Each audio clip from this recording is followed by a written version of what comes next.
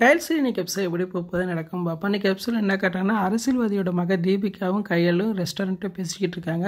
அந்நேரம் தச்சையில் எழில் காரில் போகிறாரு கையலோட பைக்கை பார்த்தா ரெஸ்டாரண்ட் கையில் வந்திருக்கான்னு நினைக்கிறேன். நான் போய் கையில் பார்த்துட்டு வரேன் அப்படின்னு சொல்லிட்டு ரெஸ்டாரண்ட்டுக்குள்ளே உள்ள போகிறாரு அப்போ கையில் வந்து எழில் வரதை பார்த்துடுறாங்க. கையில் பயப்படுறாங்க. இப்போ மட்டும் நான் தீபிகா கூட உட்காந்து பேசுகிறத பார்த்தா எழில் ஏகப்பட்ட கேள்விக்கு வைப்பேன். அவன்கிட்ட என்ன சொல்லி சமாளிப்பேன் பேசாமல் ஒழிஞ்சுக்கிறோன்னு சொல்லி கையில் ஒழிஞ்சுக்கிறாங்க எழில் ரெஸ்டாரண்ட் ஃபுல்லாக சுற்றி பார்த்துட்டு கையில் காணான்னு சொல்லி கிளம்பி போயிடுறாரு. அதுக்கப்புறம் பார்த்தா ஆனந்தி அவசரமாக எழிலுக்கு ஃபோன் போடுறாங்க. அப்போ எழில் கேட்குறாரு என்னாச்சு ஆனந்தி? ஏன் பதட்டமாக பேசுகிற அப்படிங்கிறாங்க. அப்போ ஆனந்தி சொல்கிறாங்க அக்கா வர்ற வழியில் வண்டி கீழே விழுந்துருச்சு. அவங்களுக்கு பெரிய அடிபட்டுருச்சுன்னு எதை சொல்கிறாங்க நினைக்கிறேன் இதை கேட்டானே எழில் அதிர்ச்சிகரமாக கேட்டுறாங்க இன்றைக்கி அந்த எபிசோட் இப்படி தான் இப்போ ஃபுல் வீடியோ பார்த்துட்டு பேசுகிறோம் இந்த வீடியோ பிடிச்சா வீடியோக்கு லைக் கொடுத்துட்டு மறக்காமல் சப்ஸ்கிரைப் பண்ணுங்கள் தேங்க்யூ